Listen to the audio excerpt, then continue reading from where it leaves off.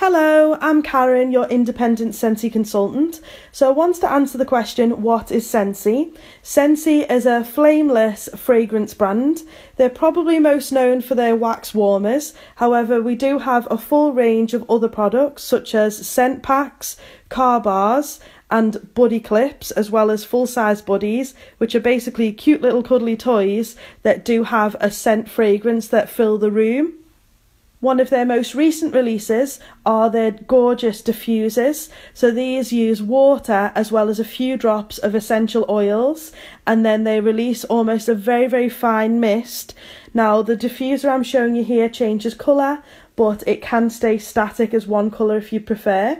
Now I'm going to explain their warmers to you. Our warmers offer a safe alternative to the traditional candle or tea light burner.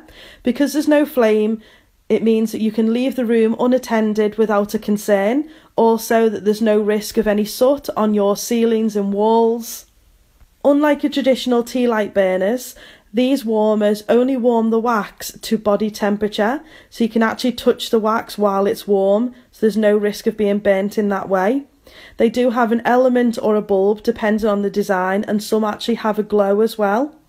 So really stunning. I'm going to show how you set up one of our warmers. So it's a very straightforward process. You remove the box and the packaging. You've then got the warmer, a dish and the cord. I'm going to put the dish on top of the warmer. Plug the cord into the back as well as into the wall. I've then got my block of wax. I'm just going to snap off one cube, put it into the warmer and switch it on. And there it is. It will then start releasing the fragrance.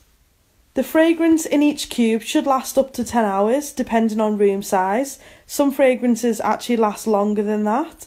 But once you can't smell it anymore, I'm going to show you how to easily remove this cube and put in a fresh one.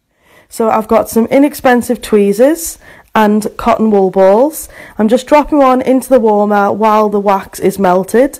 I'll wiggle it round so that it soaks up the wax.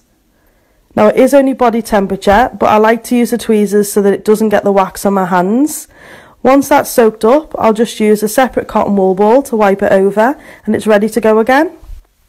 I hope you found the video useful and that I've answered your questions. If you have any more, then please don't hesitate to contact me.